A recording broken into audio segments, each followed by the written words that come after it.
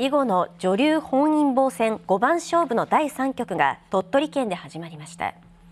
ここまで連勝している藤沢里菜女流本因坊が勝てば5連覇達成で名誉女流本因坊の資格を獲得します。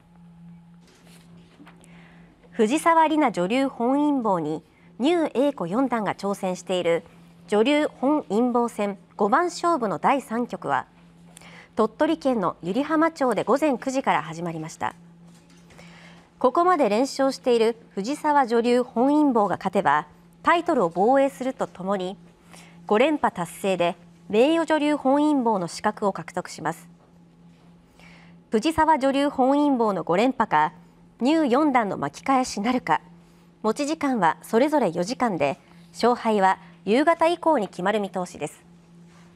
女流本因坊の優勝賞金は550万円です。